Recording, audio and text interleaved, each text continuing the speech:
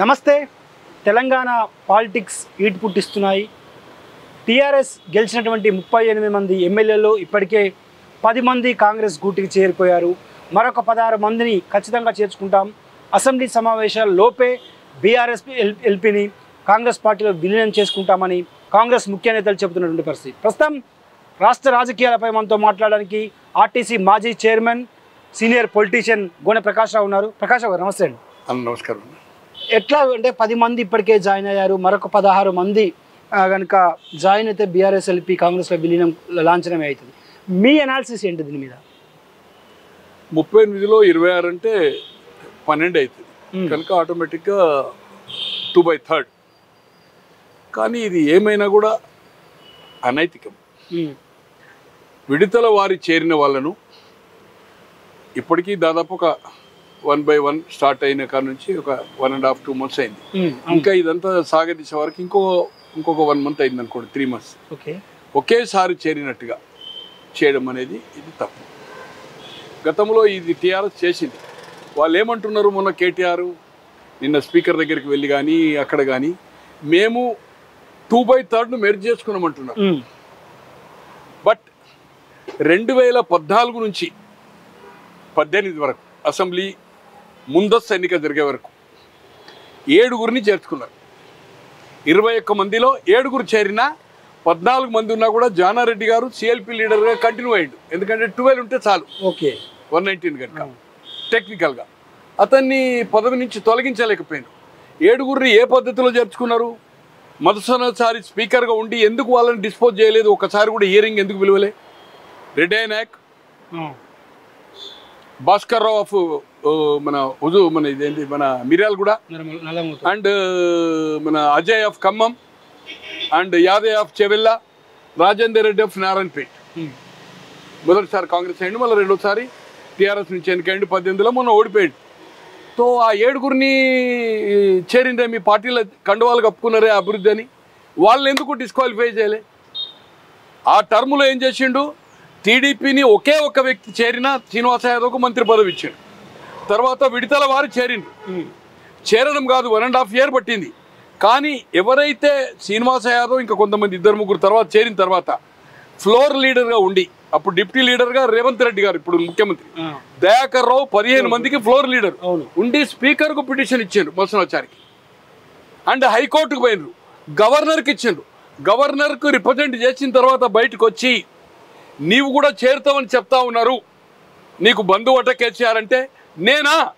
ఒక తల్లికి తండ్రికి పుట్టేది ఉంటే నేను ఆ పార్టీలో చేరని చెప్పిండు. తర్వాత ఆయన చేరి మంత్రి. పన్నెండు మంది ఏదైతుందో పదిహేనులో ముగ్గురు మిగిలింది అనుకుంటారు రేవంత్ రెడ్డి గారు ఒకటి ఖమ్మం ఎవరో ఇద్దరు ఇద్దరే. పదమూడు మంది చేరినట్టుగా ఇచ్చిండ్రు అప్పుడు మెర్జ్ అన్నాడు టీడీపీది. కానీ కాంగ్రెస్ ఏడుగురిని చేర్చుకున్నావు. ఈ రోజు అన్ని పెద్ద కాయిదాలు కత్తుపలు జరుగుతుండ్రు ఢిల్లీలో ఇక్కడ. సిగ్గుందా ఇవాళ కేటీఆర్కు? ఆ ఏడుగురిని ఎందుకు డిస్క్వాలిఫై చేయాలి? పిటిషన్ ఇస్తే. ఆ ఏడుగురిని ఏ పద్ధతిలో చేర్చుకున్నావు? ఏడుగురు అయితే మెరిచి కాలే కదా? ఇరవై కోట్ల ఏడుగురు చేర్చుకున్నావు కదా? ఒక ఇండిపెండెంట్ అయిన మాధవరెడ్డి కూడా కాంగ్రెస్ గ్రూప్లో ఉన్నాడు అనుకోండి. అది కౌంట్ కాదు. ఇరవై ఒకటిలో ఏడు మంది చేర్చుకున్నావు నువ్వు. నేను నైతికంగా ఉన్న అనైతికంగా కాంగ్రెస్ పార్టీ ఉన్నది. అంతకుముందు మమ్మల్ని రాజశేఖర రెడ్డి గారు సిగ్గు లేదు నీకు? ఒక బీజేపీ నాయకుడు పేరు చెప్పదలుచుకోలే. నోవిజా లోక్సభ మెంబర్. రాజకీయ అజ్ఞానంతో మాట్లాడుతుండు మీడియాకు. ఏమంటున్నాడు? నాలుగు సంవత్సరాల పదకొండు నెలలు ముడి కింద పెట్టుకున్నాడు సురేష్ రెడ్డి స్పీకర్. ఎప్పుడు రెండు వేల నాలుగు నుంచి తొమ్మిది వరకు. వాళ్ళని డిస్క్వాలిఫై చేయలే టీఆర్ఎస్ వాళ్ళు అని చెప్తున్నాడు. అరే ఏం మాట్లాడుతున్నావయ్యా? మేధావి నువ్వు పేరు చెప్పదలుచుకోలేదు. రెండు వేల ఏడులో కౌన్సిల్కు పది మంది సంతకం పెట్టారు. ఎనభై ఐదులో కౌన్సిల్ డిజాల్వ్ అయిందంటే రెండు వేల ఏడులో మళ్ళీ ఏదైతుందో అదే. అప్పుడు ఎన్నిక జరిగింది. ముప్పై ఒకటి మొత్తం తొంభై హౌజును ఫిలప్ చేయాలి. ఎమ్మెల్యేస్ నుంచి ముప్పయా ముప్పై ఒకటి ఉంటాయి. అంటే పది మంది సంతకం పెట్టాలి పది మంది ఓట్లు వేస్తే చాలు. ఎలక్ట్ అవుతారు. ఇప్పుడు ముప్పై మంది అంటే పది తొమ్మిది వస్తే కాదు. పది వచ్చిందంటే ఆటోమేటిక్ ఎలక్ట్ అయిపోతారు కదా. ఫస్ట్ కౌంట్ ఎలక్ట్ అవుతారు కదా. అయితే ఆ రోజు Gyaneshwar Mudiraj ex ZP chairman అప్పుడు ఎమ్మెల్సీ అయ్యాడు. ఆయనకు సంతకాలు పెట్టినందుకు డిస్క్వాలిఫై చేయమని పిటిషన్ ఇచ్చిండు స్పీకర్ దగ్గర. స్పీకర్ హియరింగ్ పిలిచిండు. ఇలా టీఆర్ఎస్ పార్టీలో రాజ్యసభ సభ్యుడు. మొన్న కదో మీడియాకి ఇంటర్వ్యూ ఇచ్చిండు. నేను రెండు వేల ఏడులో నేను హియరింగ్ స్టార్ట్ చేసిన. పది సార్లు టీఆర్ఎస్ వాయిదా అడిగింది రామకృష్ణారెడ్డి అని అడ్వకేట్ జనరల్ అయింది రెండు వేల పద్నాలుగులో వాళ్ళ అడ్వకేట్ ఈ రెబల్ బీజేపీ తరఫు టీఆర్ఎస్ తరఫున జంధ్యాల శంకర్. చివరకు డిస్క్వాలిఫై చేసిండు కదా? కొందరేమో రాజీనామా చేశారు కొందరు డిస్క్వాలిఫై అయ్యారు ఆ టైం బాండ్ రాకపోయేది ఉంటే. సో ఈ రోజు సిగ్గులు ఏదైతుందో ఆ- నాయకుడు ఇవాళ ఎంపీ అయి మాట్లాడుతూ ఉన్నాడు. చరిత్ర తెలుసుకొని మాట్లాడాలి. రాజశేఖర రెడ్డి గారి పీరియడ్లో కాంగ్రెస్ పార్టీలో ఏ ఒక్కరిని ఈ పది మంది రెబల్ టీఆర్ఎస్ వాళ్ళను చేర్చుకోలేదు. వాళ్ళు గాంధీ భవన్ మెట్లెక్కలేదు. కాంగ్రెస్ లెజిస్లేటివ్ పార్టీ మీటింగ్ వాళ్ళు అటెండ్ కాలేదు. మేము అభివృద్ధి కోసము రాజశేఖర రెడ్డి అందంగా ఉన్నాడు బ్రహ్మాండమైన కార్యక్రమాలు చేస్తుండని భజన చేయలేదు. దయచేసి ఇది చరిత్ర. బట్ రెండు వేల పద్నాలుగు నుంచి టీడీపీని అనైతికంగా విలీనం చేసుకున్నాం. అరవై ఆరు సీట్లు వచ్చినా కూడా పార్టీని లేకుండా చేసినావు కాంగ్రెస్ లేకుండా చేయాలని జానారెడ్డిని కూడా లొంగ తీసుకోవాలని ప్రయత్నం చేసినావు కానీ ఏడుగురిని చేర్చుకున్నావు. కానీ ఏ ఒక్క రోజు హియరింగ్కు ఈరోజు మధుసూదనాచారి స్పీకర్కు కలంకం తెచ్చిండు. ఐదు సంవత్సరాల్లో ఒక్కసారి కూడా తెలియలే తెలియదా నీకు టూ బై థర్డ్ అయినప్పుడు? తెలియదా కేటీఆర్కు? నువ్వు శాసనసభ్యునివే కదా హరీష్ రావు శాసనసభ్యుడే కదా? ఇక రెండు వేల పద్దెనిమిది నుంచి ఇరవై మూడు వరకు. ఇరవై మూడు. ఈ రోజు ఎనభై ఎనిమిది సీట్లు వచ్చినాయి. ఏడుగురు ఎంఐఎం తొంభై ఐదు సభ్యులుంటే సిగ్గున్నదా? నూట పంతొమ్మిదిలో తొంభై ఐదు ఉన్నది. ఉంటే ప్రతిపక్షం లేకుండా ఒక దళిత నాయకుడిని ప్రతిపక్షం ఓర్వలేక అసెంబ్లీలో అతన్ని తట్టుకోలేక విడతల వారు చేసుకున్నావు కదా? నవంబర్ నుంచి జూన్ నైన్టీన్ వరకు ఎయిటీన్ నుంచి విడతల వారి. ఎవరైతే మొదలు చేరారో మొదలు చేరిన వాళ్ళని డిస్క్వాలిఫై చేయమని సబితమ్మ గారు అప్పటికి ఇంకా ఎంపీ కాలే. ఎవరు? ఉత్తమ్ కుమార్ రెడ్డి గారు ఎమ్మెల్యే హుజూర్ నగర్ నుంచి ఎన్నికై ఎంపీ అయిన తర్వాత రాజీనామా చేసి బై ఎలక్షన్ ఓడిపోయింది మళ్ళీ అతను Sabitamma Venkatramareddy plus Sudheer Reddy Gandhi statue assembly ముంగట. ఇప్పుడు అనుకోకుండా మీరు పిలిచారు కనుక మనం ఎక్కడో ఈ గార్డెన్లో కూర్చొని చేస్తున్నాం. నా దగ్గర విత్ డాక్యుమెంట్ చేరింది. ఉంది ఏ రోజు ఎప్పుడు చేరింది? అందరినీ సంతకాలు ఎవరైతే ధర్నా చేసిండ్రో ఎవరైతే స్పీకర్ దగ్గర పోయి పిటిషన్ ఇచ్చిండ్రో నిన్ను ఇచ్చిండ్రు స్పీకర్ దగ్గర పోయి పిటిషన్ పదిహేను మంది. దాంట్లో రేపు ఐదారుగురు పోవచ్చు. ఎవరైతే పిటిషన్ ఆ రోజు ఇచ్చిండ్రో ఎవరైతే అసెంబ్లీ ముందు ధర్నా చేసిండ్రో గాంధీ స్టాచ్యూ దగ్గర అసెంబ్లీ ప్రిన్సెస్ లేకపోతే రోడ్ మీద కూర్చున్నారు. మూడు గంటలు ధర్నా చేసిండ్రు. చివరకు పోలీస్ అరెస్ట్ చేసి తీసుకెళ్ళింది. నువ్వు మళ్ళీ వాళ్ళే తీసుకొని చేసినావు కదా? అప్పుడు కూడా కోర్టుకు పోయింది కదా కాంగ్రెస్? రెండు వేల పద్నాలుగు నుంచి పంతొమ్మిది రామ్మోహన్ రావు గారు ఎమ్మెల్యే. ఏది మన పరిగి. జానారెడ్డి గారు ఫ్లో పోయిండు కోర్టుకు పోయిండు కోర్టు ఏంటంటే స్పీకర్కు జ్యుడిషియరీ పవర్స్. ఎప్పటి వరకైతే స్పీకర్ తన దగ్గర నుంచి ఈ పిటిషన్ డిస్పోజ్ చేయడో అయితే డిస్క్వాలిఫైయా అయితే రిజెక్టా ఏదో ఒకటి చేసిన తర్వాతనే కోర్టు ఇంటర్ఫేర్ కావాలా? కోర్టు అనేది స్పీకర్ డిస్పోజ్ చేయలేను. రెండు వేల ఇరవైలో ఆయన చెప్పినట్టుగా కే కేటీఆర్ మేధావి చెప్పినట్టుగా త్రిపురకు వచ్చింది జడ్జిమెంట్ సుప్రీంకోర్టు వచ్చింది. మీ ప్రజా చైతన్యం ద్వారా నేను చెప్తున్నా. ఈవెన్ సుప్రీంకోర్టు త్రిపుర ఇష్యూలో ఇచ్చింది డిస్క్వాలిఫై చేసిండ్రు. ఎవరు డిస్క్వాలిఫై చేసిండ్రు? ఎవరు చేసిండ్రు? స్పీకర్ పాలకపక్షమోడు. ఎక్కడైనా కానీ ఇప్పుడు కాంగ్రెస్ గవర్నమెంట్ పడగొట్టింది కర్ణాటకలో. బీజేపీ గవర్నమెంట్ వచ్చింది. ఎప్పుడు వచ్చింది వాళ్ళతో ఎమ్మెల్యేలను రాజీనామా చేయించిండు బై ఎలక్షన్ కొట్లాడింది అలాగే మధ్యప్రదేశ్లో కాంగ్రెస్ ప్రభుత్వం కూలదోలింది బీజేపీ. బీజేపీ ప్రభుత్వం వచ్చింది. ఆ ఎమ్మెల్యేలు ఏదైతుందో ఆ ప్రభుత్వానికి కాంగ్రెస్ విడ్డ్రా చేసుకున్నారు రాజీనామా ఇచ్చారు. అప్పుడు స్ట్రెంత్ ఏమైంది? బీజేపీకి పెరిగింది. కర్ణాటకలో కానీ మధ్యప్రదేశ్లో కానీ అక్కడ ఇక్కడ బై ఎలక్షన్స్ కొట్లాడింది. ఎక్కడ నాకు తెలిసినంత వరకు పాలక పక్షము స్ట్రెంత్ ఉన్నప్పుడు ఇక్కడ ఎనభై ఎనిమిది అరవై ఆరు పద్నాలుగు నుంచి పద్దెనిమిది అరవై ఆరు ప్లస్ ఏడు డెబ్బై మూడు. ఇది ఎనభై ఎనిమిది ప్లస్ ఏడు తొంభై ఐదు. ఉండగా ఈ ప్రతిపక్షాన్ని చీల్చిన సంఘటన ఉండదు. ఎక్కడైనా ప్రభుత్వం నెట్టు నెక్కున్నప్పుడు నెట్టు నెక్కున్నప్పుడు వాళ్ళని చీల్చి వాళ్ళతో రాజీనామానా ఈ పార్టీలో చేరినట్టుగా గవర్నమెంట్ అయితే హౌజ్కు హౌస్కు స్ట్రెంగ్త్కు ప్రదర్శన గవర్నమెంట్ గవర్నర్ దగ్గరికి పోక ప్రభుత్వాలు కూలిపోయినాయి. కానీ నువ్వు స్ట్రెంత్ ఉండి తీసుకున్నావు. అంటే ప్రతిపక్షం లేకుండానే చేసినావు అంటే మూడు ఇక్కడ మూడు నెలల్లో స్పీకర్ నిర్ణయం తీసుకోకపోతే కోర్టుకు సుప్రీంకోర్టుకు వెళ్ళొచ్చు గతంలో జడ్జిమెంట్ ఉన్నాయని బీఆర్ఎస్ నేతలు ముఖ్యంగా మీరు చెప్తున్న కేటీఆర్ లాంటి వాళ్ళు అంటున్నారు సార్ జడ్జిమెంట్ త్రీ జడ్జిది ఇరవైలో ఉంది. ఇరవై మూడులో సుప్రీంకోర్టు ఫైవ్ ఫైవ్ బెంచ్ ఉంది. కానీ స్పీకర్ అనేది జ్యుడిషియరీ పవర్ వాళ్ళు తీసుకోమని చెప్తారు. కానీ ఏదైతే నువ్వు తీసుకోకపోతే మేము నీ చీచి చెండాడతామని చెప్పరు. సో తీసుకోమని మళ్ళీ వీళ్ళు సుప్రీంకోర్టు పోతారు. ఇచ్చింది అనుకోండి వీళ్ళు టేక్ ద డిసిషన్ ఎగ్జామిన్ చేస్తున్నామంటారు. లాగ లాగ లాగదీస్తారు. ఈ లోపల ఏమవుతుంది స్ట్రెంత్ ఇరవై ఆరు అయింది అనుకోండి మెర్జ్ అంటాడు. మెర్జ్ అనకే కథం. మళ్ళీ ఐదేళ్ళు పడుతుంది కేసు. ఎలక్షన్ పిటిషన్ ఏమవుతుంది సార్? రీకౌంటింగ్ ఏమవుతుంది అరుణ గారు ఎల ఎలక్ట్ అయినట్టుగా డిక్లేర్ చేసిండు. వేకెన్సీ డిక్లేర్ చేసిండు. అరుణ ఎమ్మెల్యే అయిందా? కాలే కదా. ఇక్కడ స్పీకర్ పర్మిషన్ కదా? రైట్. ఇట్లా ఎన్నో ఇన్సిడెంట్స్ ఉన్నాయి. నేను అనేది ఏంటంటే సుప్రీంకోర్టుకు వీళ్ళు పోతారు. పో. ప్రెసిడెంట్ దగ్గరికి పో. ఢిల్లీలో మీటింగ్ పెడతా అంటున్నావు. దీని గురించి నేను మొత్తం హల్లా కుల్లా చేస్తున్నావు. అరే బాబు నువ్వు పెడితే ఎవరు వస్తారు ఇండియా కూటమి ఎవరు రారు? నువ్వు ఎవరితో సఖ్యతగా లేవు కదా? ఎన్డీఏ రారు. ఆయారాం గయారాములు అంటే ఎవరైతే అసెంబ్లీలో ప్రాతినిధ్యం లేదో అటువంటి వాళ్ళు ఎక్కా దుఃఖాలు దొరకాలి నీకు. అరణ్య రోదన ఇది ప్రెసిడెంట్ దగ్గర ఏం చేస్తాడు ప్రెసిడెంట్?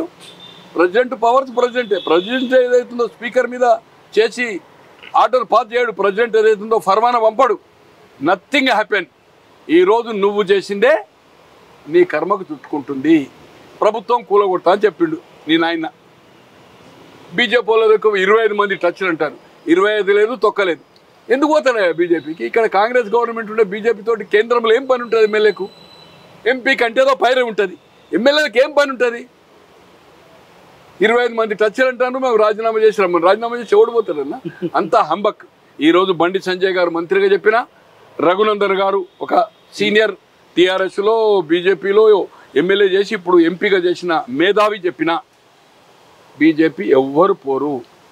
సార్ ఎంతమంది? ఎవ్వరు పోయినా. ఇక్కడ పదమూడును కాపాడుకోగలిగితే మెర్జ్ అనేది ఇంపాసిబుల్. ఈ రోజు వాళ్ళకు సాలిడ్గా ఉండేది మీకు. పేర్లు చెప్తా. అదే అదే అక్కడికే వస్తున్నా. మీకున్న అంచనా ప్రకారం బీఆర్ఎస్లో ఎంతమంది మిగులుతారు? ఒకవేళ ఇరవై ఆరు మంది పోయేటువంటి ఛాన్సెస్ ఉన్నాయా? పది మందిలో ఇప్పుడు ఏదైతుందో ఇరవై రెండు మంది వాళ్ళ దగ్గర ఉన్నారు. ముప్పై ఎనిమిదిలో పది మంది పోతే ట్వంటీ ఎయిట్ ఉన్నారు. Twenty eight Prashant Reddy hundred percent ఆ పార్టీలో ఉంటాడు. నిజామాబాద్. ఓకే. సంజయ్ ఎఫ్ కొరుట్లా ఉంటాడు. కేటీఆర్. మూడు. అండ్ కౌశిక్ నాలుగు. నాలుగు. నాలుగును కేసీఆర్ ఐదు. ఐదు. ఐదును హరీష్ రావు ఆరు. ఆరు. ఏదైతుందో మన మన జగదీశ్వర్ రెడ్డి ఏడు. రాజేశ్వర్ రెడ్డి ఎనిమిది. అండ్ ఈ ప్రభాకర్ సంగారెడ్డి ఉన్నాడు కదా. తొమ్మిది. తొమ్మిదిను సబిత ఆమె ఓన్గా చెప్పింది. ఆమె కుమారుడు కూడా చెప్పిండు. అవును. నిన్న కూడా అటెండ్ అయింది. ఇదివరకు ఆమె దల్ బదలైంది మంచో చెడుకో. ఈ దీంట్లో వచ్చి అయితే మంత్రి అయితే నో క్వశ్చన్ నో క్వశ్చన్ మంత్రి పదవి అనేది మారిన వాళ్ళకి ఇచ్చే క్వశ్చన్ లేదు. ఆమెకు పెద్ద పైరవులు లేదు. ఆమె వెరీ కంఫర్ట్గా ఉంది. ఆమె కూడా దీంట్లో చేరిన తర్వాత చరిత్రహీనులుగా మిగులుతుంది. పన్నెండు మంది పోతే ఓన్లీ ఇద్దరే గెలిచింది. సుధీర్ రెడ్డి అండ్ సబితమ్మ. నెక్స్ట్ అది కూడా గెలువడు ఆయన కొడుకు గెలువడు తుక్కు తొక్కు పొట్టు పొట్టు పొల్లు పొల్లు పోతారు ఈ మారిన వాళ్ళు ప్రజలు హర్షించరు. కనుక ఇది పది స్ట్రెంత్ ఒక మూడు. నేను అనుకుంటున్నా ఇంకా సిటీలో కూడా చెప్తా ఉన్నారు. పేర్లు నాకు అవసరం లేదు. బట్ అవసరమైతే పది పదిహేను ఇరవై కోట్లు కూడా ఇచ్చి పేర్లు చెప్పండి.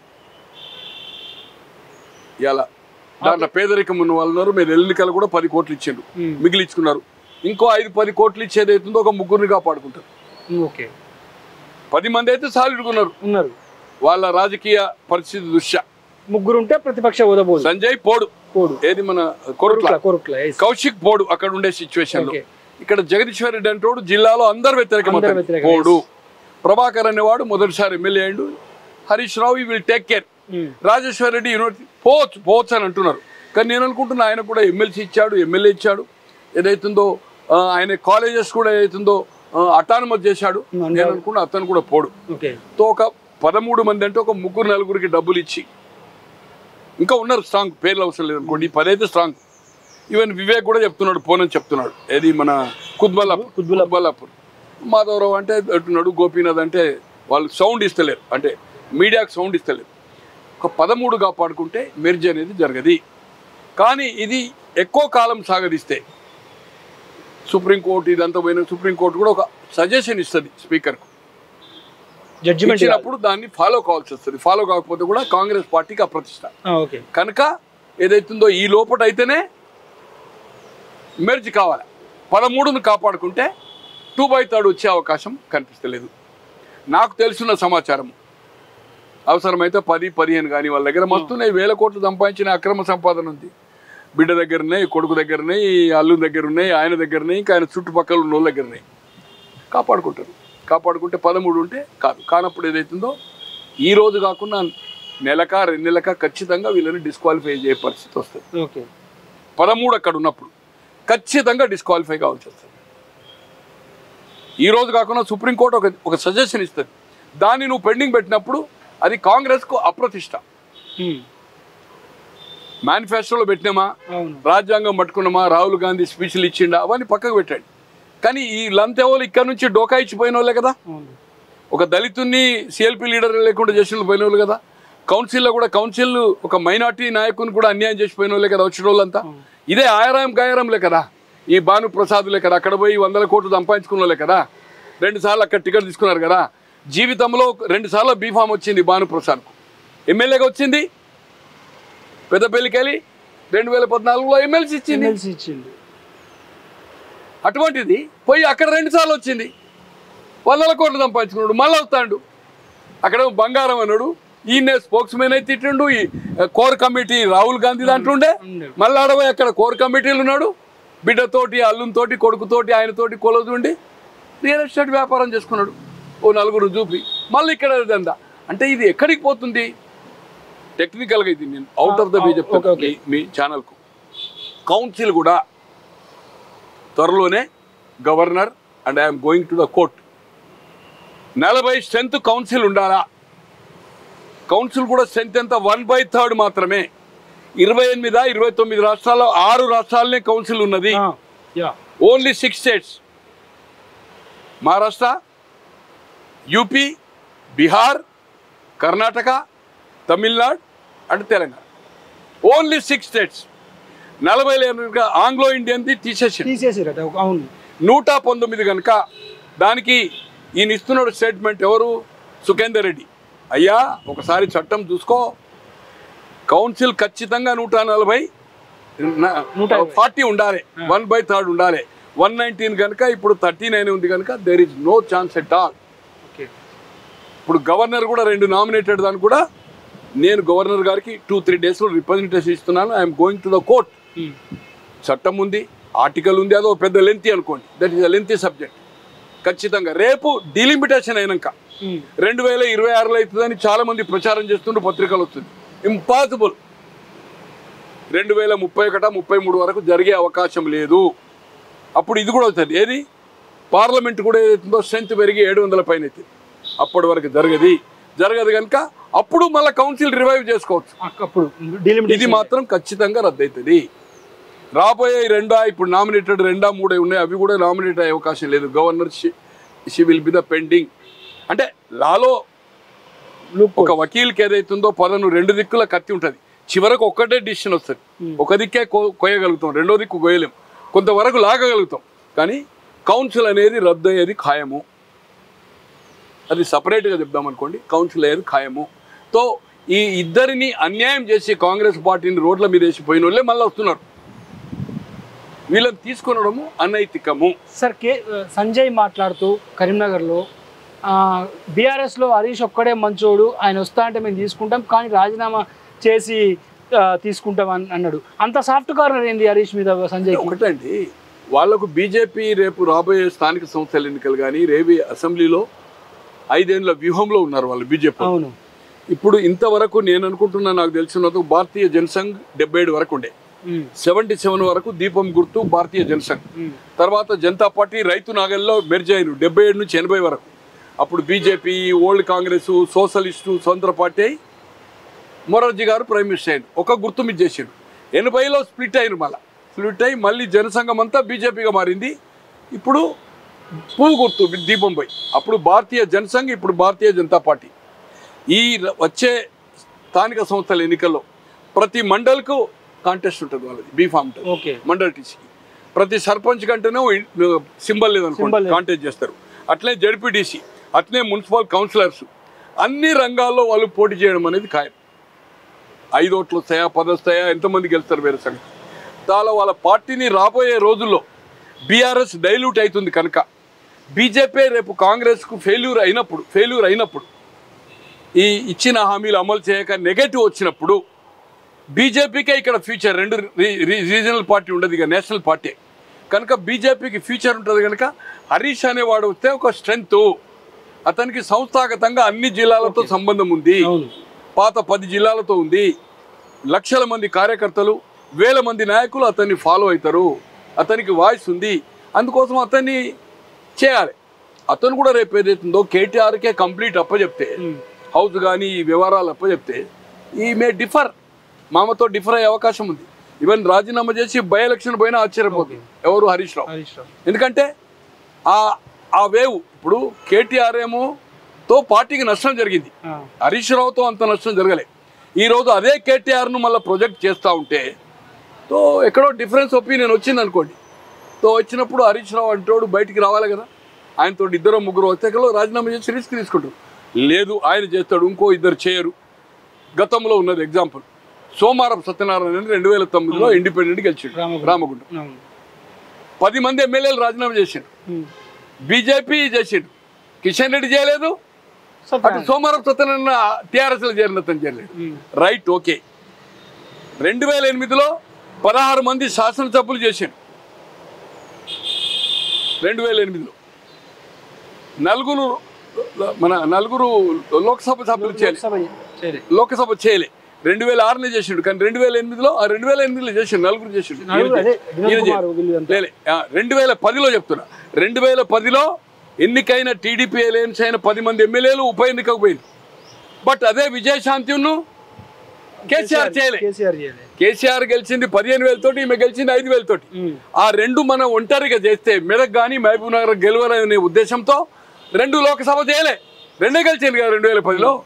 పది మంది సిపిఐ సిపిఎం టీడీపీతో గెలిచి పది మంది ఎమ్మెల్యేలతో జయించాడు. అంటే ఆయన డిఫరెన్స్ డిఫరెంట్ వాదం ఉంటుంది. అలాగే ఎమ్మెల్యేలను అంతకుముందు ఉద్యమం నడిచేటప్పుడేమో రాజీనామా చేసి చేయించుకున్నాడు. పోచారం కానీ జోగురామన్న గారు ఇటువంటి వాళ్ళు మరి రాజీనామా మొన్న రెండు వేల పద్నాలుగులో చేయించలేదే రెండు వేల పంతొమ్మిదిలో చేయించలేదే అవును. ఎందుకు చేయించాలి నమ్మకం లేదు. అనైతికంగా ఏదైతుందో మీరు చేసుకున్నాడు. స్పీకర్ అయినడు కనుక. సో ఇవన్నీ డిఫరెంట్ ఉన్నది. ఏది ఏమైనా బీఆర్ఎస్ పదమూడు కాపాడుకుంటుంది అనేది నాకు ఫిఫ్టీ ఫిఫ్టీ నమ్మకం. వాళ్ళు ఖచ్చితంగా చెప్తుండ్రు మాకు పది మంది ఇట్లా ఉన్నారు ఇంకో ముగ్గురు నలుగురు ఏదో విధంగా ఏదో కన్విన్స్ చేసుకొని మొన్న ఎన్నికల్లో పది ఇచ్చినాం. మళ్ళీ పది పదిహేనో ఇరవై ఇస్తాం. నెక్స్ట్ ఎలక్షన్ మేము చూసుకుంటాం కావాలంటే డిపాజిట్ చేస్తాము ఇది చేస్తాము అంటారు వ్యతిరేకిస్తాం వాళ్ళకు అవసరమైన పని మీకు ఏదైతే చేస్తామన్నప్పుడు మనీ ఉన్న ఈ దేశంలో మనం చెప్పొద్దు అనుకోండి ఎక్కడో ఒకడ ఒకడు మనీ ఒకడు ఉమెన్ ఒకడు వైను ఒకడు కులానికో ఒక బంధుత్వానికో లొంగని వాడు ఉండడని నైన్టీన్ సిక్స్టీ నైన్లో కథానాయకుడని రామారావు గారి జయలలిత సినిమా వచ్చింది. నాగభూషణం ఒక డైలాగ్ చెప్తాడు. దేశం అది పొలిటికల్ సబ్జెక్ట్ సంఘంలో వచ్చాయి. సంఘం సిక్స్టీ నైన్ ఫిబ్రవరి ఎప్పుడు. హండ్రెడ్ డేస్ అనుకోండి. సో దాంట్లో ఉంటుంది. ఎక్కడో ఒక ప్రతి మనిషి అన్నట్టు ఎక్కడో ఒక లొంగుతాడట అట్లే ఏదైతుందో ఖచ్చితంగా వాళ్ళకి ఏదైతే ఏ వీక్నెస్ ఉందో ఏందో వాళ్ళు ఏదైతుందో ఆ ముగ్గురు నలుగురిలో కాపాడుకునే ప్రయత్నం చేస్తారు. సరే బీఆర్ఎస్ బీజేపీలో విలీనం జరగబోతుందన్న చర్చ బలంగా నడుస్తుంది. కవిత బెయిల్ కోసం అనేదో హరీష్ రావు కేటీఆర్ వారం రోజులు ఢిల్లీలో మకాం వేసిరట. సార్ విలీనం ఎట్లయితే సార్? పది మంది పోయింది కదా? ఉమ్. మిగిలిన ఎంతమంది అన్న? ఇరవై ఆరు మందే కదా? అంటే బీజేపీ పార్టీ అది బీఆర్ఎస్ పార్టీనే. అదే బీఆర్ఎస్ పార్టీ విలీనం అనే క్వశ్చనే లేదు. హండ్రెడ్ పర్సెంట్ విలీనం కాదు. విలీనం అయినప్పుడు ఐడెంటిటీ పోతుంది. తర్వాత అది బీజేపీ పార్టీ కూడా నష్టం జరుగుతుంది. ఓకే. ఇప్పుడు కవితను ఏదైతుందో అసెంబ్లీ కంటే ముందు అరెస్ట్ చేస్తే బీజేపీకి రిజల్ట్ అసెంబ్లీ సీట్లు ఎక్కువ వస్తుండే. It is going to the hung house వస్తుండే. ఓకే. ఎనిమిది వచ్చినాయి. ఎప్పుడైతే పార్లమెంట్ తర్వాత చేసిన కనుకనే వాళ్ళకు ఈ ఎనిమిది లోక్సభ వచ్చింది. అంటే బీజేపీ టీఆర్ఎస్ మ్యాచ్ ఫిక్స్ కానీ కాంగ్రెస్ ప్రచారం చేసుకోగలిగింది. విస్తృత స్థాయిలో. అదే ప్రజలు నమ్మిండ్రు. అటువంటిది ఈ రోజు ఆమె అరెస్ట్ అయింది. కాంక్రీట్గా ఉంది. Sukadia ex deputy chief minister more than one year ఆ మెంబడు ఉన్న అనూస్ వాళ్ళ కొడుకు ఆ పిల్లవని పేరు ఏదో ఉంది కదా బోయినపల్లి. ఆ పిల్లగాడు మోర్ వన్ ఇయర్ ఉన్నాడు. బినామీ వీళ్ళంతా పిల్లే ఉన్నాడు. తో బేల్ అనేది ఏదైతుందో ఆమెకి ఇది వచ్చి బేల్ గిట్ ఇస్తే అంటే ఈ విధంగా గిట్ట అయ్యేది ఉంటే అది బీజేపీ పార్టీ మళ్ళీ తనకు తాను అంటే రాజకీయంగా హత్యలు ఉండే ఆత్మహత్యలు అంటారు కదా. ఏ పరిస్థితిలో బీజేపీ టీఆర్ఎస్ని మెరుగు చేసుకోదు. వ్యక్తిగతంగా మీరు అన్నట్టుకు వచ్చేది ఉంటే కేసీఆర్ మన ఇది పేరింది హరీష్ రావు ఇంకెవరైనా పొటెన్షియల్ ఫెలోస్ ఉంటే దే మే టేక్ కానీ ఏ పరిస్థితిలో నాకుండే పొలిటికల్ యాంగిల్ చూస్తే బీజేపీకి అది నష్టము కాంగ్రెస్కు లాభం జరుగుతుంది. ఆ పని బీజేపీ చేయది. అవసరం లేదు వాళ్ళకు. ఎనిమిది లోక్సభ వచ్చినాయి కదన్నా. ఇప్పుడు రేపు లోకల్ బాడీ చూసుకుంటారు వాళ్ళు. ఇంకా మస్తు ఉంది ఐదేండ్లు. ఐదేళ్ళ కంటే ముందు ఏదైనా జరగవచ్చు. ఎన్నికల ముందు రెండేళ్ళు మూడేళ్ళు. ఇప్పుడు ఏది ఉంటే గతం కదా? సో అందుకోసం ఏదైతుందో వన్ సైడ్ అవుతుంది. అప్పుడు ఏమవుతుంది తెలంగాణ ప్రాంతంలో Christian minority Muslim minority Dalit solid of Congress vote vote bank పెరుగుతుంది. హండ్రెడ్కి హండ్రెడ్ పర్సెంట్ పెరుగుతుంది. ఈరోజు నియర్ అబౌట్ టెన్ పర్సెంట్ ఇది ఉంటుంది. ఏది? ముస్లిం మైనార్టీ.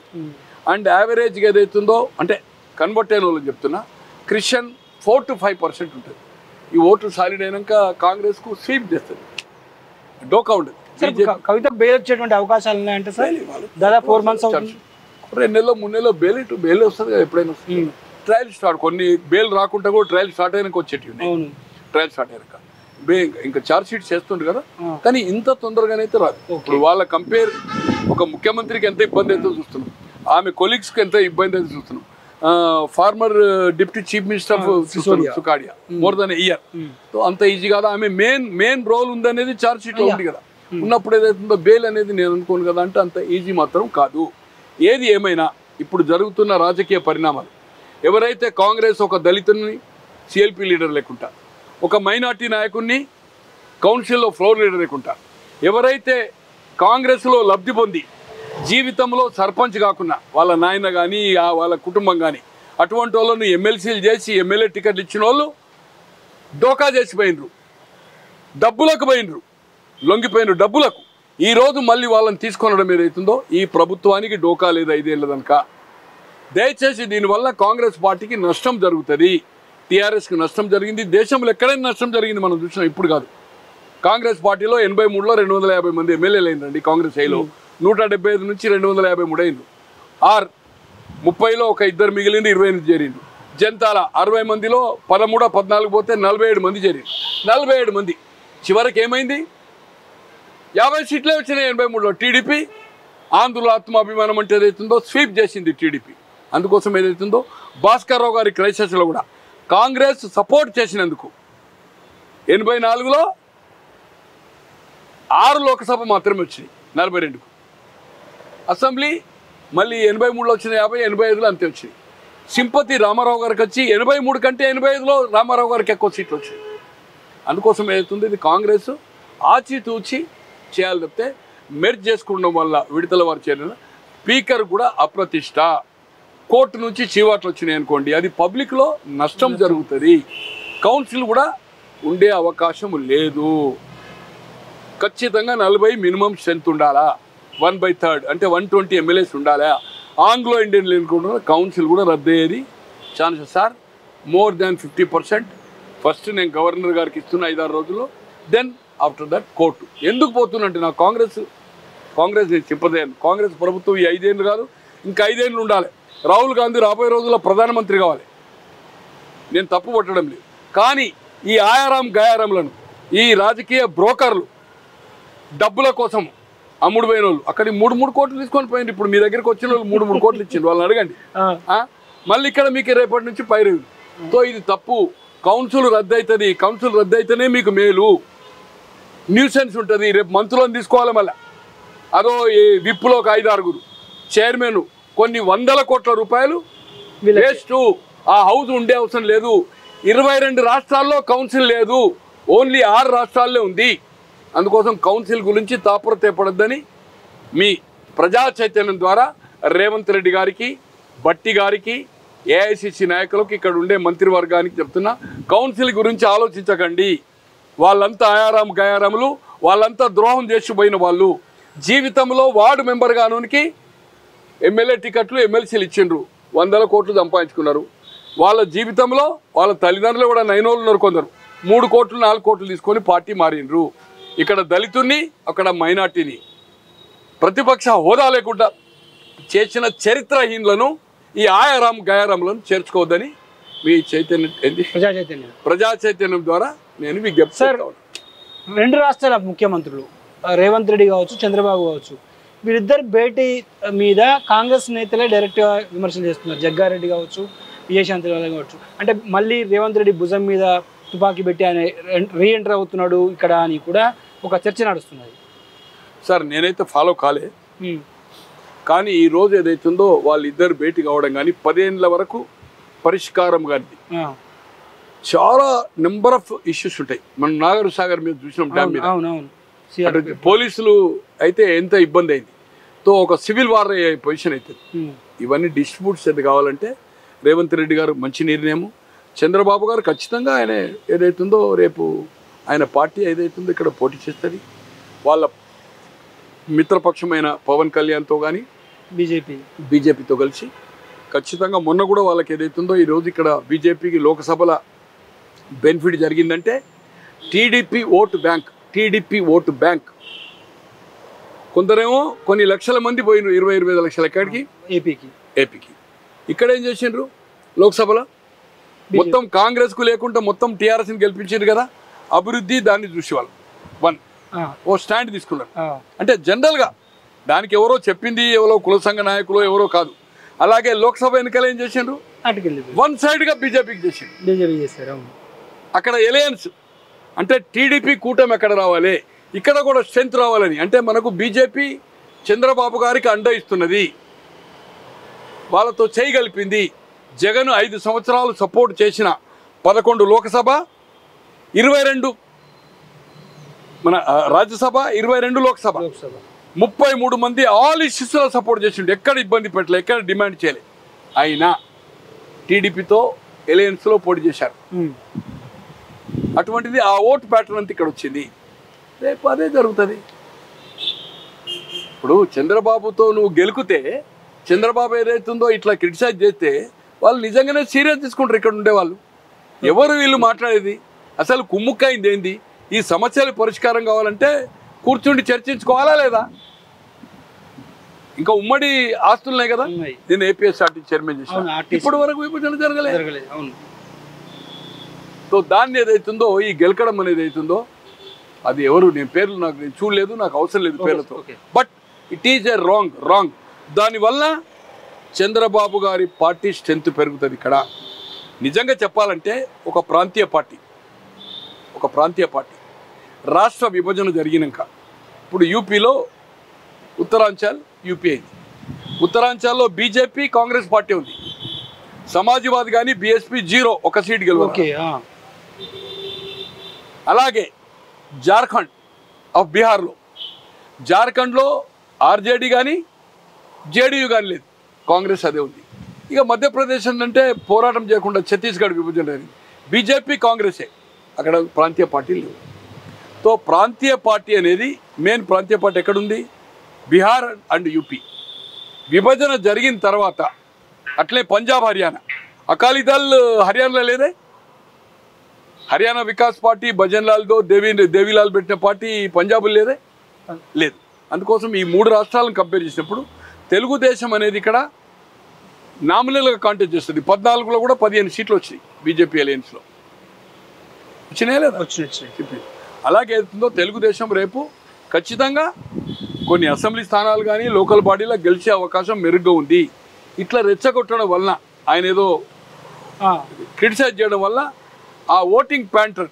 చంద్రబాబు అంటే తెలుగుదేశం ఓటు బ్యాంక్ కానీ అది కమ్యూనిటీ పరంగానా లేకపోతే బీసీలకు గుర్తింపు ఇచ్చింది రామారావు గారి పార్టీ. అప్పటి వరకు బీసీ రిజర్వేషన్ లేదు కదా? మండల స్థాయిలో మండల ప్రెసిడెంట్ కావాలన్నా సమితి ప్రెసిడెంట్ కావాలన్నా సర్పంచ్ కావాలన్నా వార్డు మెంబర్ కావాలన్నా జడ్పీ చైర్మన్ కావాలన్నా వార్డు కౌన్సిలర్ కావాలన్నా చైర్మన్ కావాలన్నా బీసీలకు అవకాశం లేదు. జనరల్ సీట్లే కొట్టాడాలి కానీ రామారావు గారు మూడు వందల సమితిళ్ళు వెయ్యి తొంభై ఆరు పదకొండు వందలు చేసి బీసీలకు రిజర్వేషన్ చేసిండు. జిల్లా పరిషత్ చేసిండు మండల ప్రజా పరిషత్ చేసిండు. ఈ రోజు బీసీలకు నాయకత్వం అంటే ఫోటో భగవంతుని లెక్క ఫోటో పెట్టుకోవాలి. దాని తర్వాతనే రాజీవ్ గాంధీ చట్టం తెచ్చిండు దేశమంతా రిజర్వేషన్ ఫస్ట్ తెచ్చింది ఎనభై ఏడులో రామారావు గారికి. ఓటు బ్యాంకు బలహీన వర్గాల కూడా ఉంది. దీనివల్ల కాంగ్రెస్కి ఇటువంటి స్టేట్మెంట్ ఇవ్వడం వల్ల నష్టం జరుగుతుందని నా వ్యక్తిగత అభిప్రాయం. ఎవరిచ్చిన సంగతి నాకు తెలియదు. మీరు చెప్తున్నారు నేను చూడలేదు. చూడలేదు. సార్ ఫైనల్గా చెప్పండి. మీరు వైఎస్ కుటుంబానికి అత్యంత సన్నిహితంగా మెలిగినటువంటి వ్యక్తి. ఇప్పుడు జగన్ డిఫీట్ చూసాం. ఏంటి జగన్ పొలిటికల్ ఫ్యూచర్ ఏంటి? ఆయన పోరాడతాడు. అక్కడ ప్రతిపక్షం అదే కదా. కానీ Congress will be the improve. ఇప్పుడు విభజన చేసింది కాంగ్రెస్. రెండు సార్లు వాళ్ళకు నష్టం జరిగింది. రెండు కాదు మూడు సార్లు. పద్నాలుగు పంతొమ్మిది మొన్న. ఇరవై మూడు. తో విభజన హామీలు ఎవరైతే ఆ చట్టంలో పెట్టినరో అవి ఇంప్లిమెంట్ చేయడం లేదు. బీజేపీ కొట్లాడింది. పదిహేనులు కాదు పదిహేను ఏళ్ళు కావాలని క్యాపిటల్ సిటీ కావాలని. తర్వాత మోడీ గారు వచ్చి తిరుపతిలో బిడ్డను కానీ అనాథం చేసిండంటే తల్లి చనిపోయింది. ఆపరేషన్ సక్సెస్ పేషెంట్ అన్నట్టుగా చెప్పిండు. అటువంటిది ఏం చేయాలి పదిహేను? ఇప్పుడు ఏం చేస్తారు ఆయన వాళ్ళు అనుకున్నది ఫుల్ఫిల్ చేయకపోతే ఇప్పుడు మోడీ గారు. అలాగే ఏదైతుందో టీడీపీ ఇచ్చిన ప్రామిసెస్ ఫుల్ఫిల్ కాకపోతే జగన్ అయితే ఎట్లయితే ఓన్లీ ఆ నవరత్నాలు చేసింది చెప్తే అదర్ యాక్టివిటీ అంతా క్లోజ్ కదా డెవలప్మెంట్. ఇది జరగనప్పుడు ఏదైతుందో ఆల్టర్నేటివ్ ఏమవుతుంది అంటే Congress will be the improve improve అవుతుంది. ఇంప్రూవ్ అయ్యి జగన్ ఓటు బ్యాంక్ అంతా కాంగ్రెసే. మైనార్టీ తర్వాత. Christian minority Muslim and Harijan vote అంతా ఇటు వస్తుంది. నాయకులు కూడా కొంతమంది ఇప్పుడు ఎవరైతే జగన్మోహన్ రెడ్డి గారి పార్టీలో ఉన్నాడో ఇల్ ఇల్ ట్రీట్మెంట్ వాళ్ళని చేసిండో వాళ్ళందరూ టైం ఇప్పుడు ఇది ఎర్లీ కదా మొన్ననే ఎలక్షన్ కొట్లాడిండు ఖచ్చితంగా కాంగ్రెస్ ఏదైతుందో పోరాటం చేస్తుంది షర్మిలి గారు. సత్వ ఉంది ధైర్యం ఉంది. రాజశేఖర రెడ్డి లెగసీ. ఆమె ఏదైతుందో కంటిన్యూటీ పోరాటం చేస్తుంది.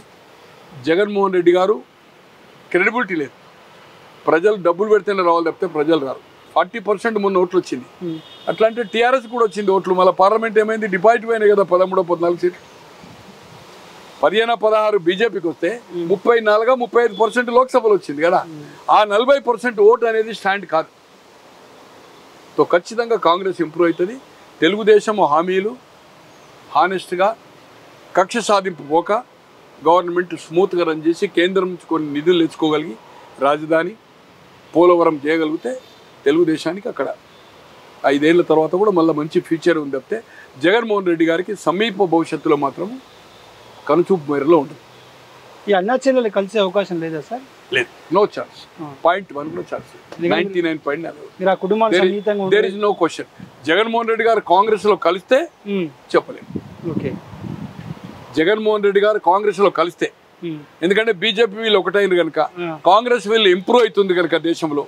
రేపు ఈ మూడు సార్లు బీజేపీ ఉంది కనుక రేపు నెగటివ్ కనుక స్టార్ట్ అయితే లుక్కలుక్కలు ఇంకో రెండు సంవత్సరాల తర్వాత స్టార్ట్ అవుతుంది. ఏజ్ బార్ పెట్టింది మోడీ గారు. ఈ రోజు మోడీ గారు ఇంకా ఐదేళ్ళు ఉంటా అంటే ఎవరు ఒప్పుకుంటారు? ఒప్పుకోరు కదా. దాంట్లో అభిప్రాయ భేదాలు ఉన్నాయి బీజేపీలో. రాజ్నాథ్ రాజ్పుత్ కానీ తర్వాత గడ్కరీ కానీ చాలా చాలా ఉంది. Minority government. తో ఎక్కడ ఎక్కడ ఎక్కడ సందు దొరుకుతుందా? డిసిజెంట్ యాక్టివిటీ అనేది అక్కడ స్టార్ట్ అయ్యే అవకాశం ఉంది. లేదా ఆర్ఎస్ఎస్ఏ అతన్ని స్టెప్ డౌన్గా ఉండే అవకాశం ఉంటుంది ఒక టూ ఇయర్స్ తర్వాత. ఇంకొక నాయకత్వాన్ని ఎన్నుకోమనే అవకాశం ఉంది. అప్పుడు ఇప్పుడు కాంగ్రెస్ పిలిపిద ఇప్పుడు రెండు సార్లు ప్రతిపక్ష హోదా రాలే. పద్నాలుగులో కానీ పంతొమ్మిదిలో కానీ ఇప్పుడైతే నైన్టీ నైన్ సీట్స్ వచ్చినాయి కదా. Definitely it will be the Congress improve. నూట యాభై నూట అరవైకి పోయే అవకాశం. ఏది? రెండు వేల నాలుగులో ఎన్ని సీట్లు వచ్చినాయో. వాళ్ళ మిత్రపక్షాలు. స్టాలినే కావచ్చు అఖిలేష్ కావచ్చు మమత కావచ్చు సిపిఐ సిపిఎం కావచ్చు పెరిగినప్పుడు ఏదైతుందో మిశ్రమ ప్రభుత్వం మళ్ళా రెండు సార్లు యూపీఏ ఎట్లా ఫామ్ అయిందో అయినప్పుడు ఏదైతుందో జగన్మోహన్ రెడ్డి గారు చివరిలో. ఈ ఓటు బ్యాంక్ టర్న్ అయ్యి కాంగ్రెస్ ఇంప్రూవ్ అయ్యి రేపు లోకల్ బాడీలో అట్టర్లీ ఫ్లాప్ అయ్యి ఆయన దగ్గర నుంచి నాయకులు కొందరు టీడీపీలో కాంగ్రెస్ పార్టీలో పోయినప్పుడు ఆయనే డిసిషన్ తీసుకోవచ్చు కాంగ్రెస్లో చేరడానికి. నాకు జన్మనిచ్చింది మా తండ్రిని ముఖ్యమంత్రి చేసింది రెండు సార్లు పీసీసీ రెండు సార్లు చేసింది నన్ను ఎంపీ చేసింది కాంగ్రెస్ అంటాడు. గర్వాప్సి అంటాడు ఏమన్నది? అందరు చెప్పేది ఆయన చెప్తాడు. అంతే కదా? నేను కన్విన్స్ అయినా నా తండ్రి మీద ఛార్జ్ షీట్ పెట్టలే తండ్రికి బ్రహ్మాండంగా గౌరవం ఇచ్చింది ఇప్పుడు చెల్లి ఎట్లా చెప్పిందో అన్న రేపు అట్లే చెప్తాడు. They may merge of Congress party. Thank you అప్పుడు ఇద్దరు ఒకటే అవుతారు కదా. ఉమ్. ఒకటే పార్టీలు ఉంటారు కదా. ఆమె అయితే బయటకు పోదు కదా. ఉమ్. డెఫినెట్గా షర్మిలి గారు ఈ పార్టీలో ఉంటారు. Thank you thank you sir so ఇది రాష్ట్ర రాజకీయాలపై ప్రముఖ సీనియర్ పొలిటీషియన్ ఆర్టీసీ మాజీ చైర్మన్ గోనె ప్రకాష్ రావు గారితో ప్రత్యేక ఇంటర్వ్యూ విశేషాలు. మరో ఇంటర్వ్యూతో మళ్ళీ కలుద్దాం. వీడియో జర్నలిస్ట్ ప్రసాద్తో కలిసి సోము ప్రజా చైతన్యం హైదరాబాద్.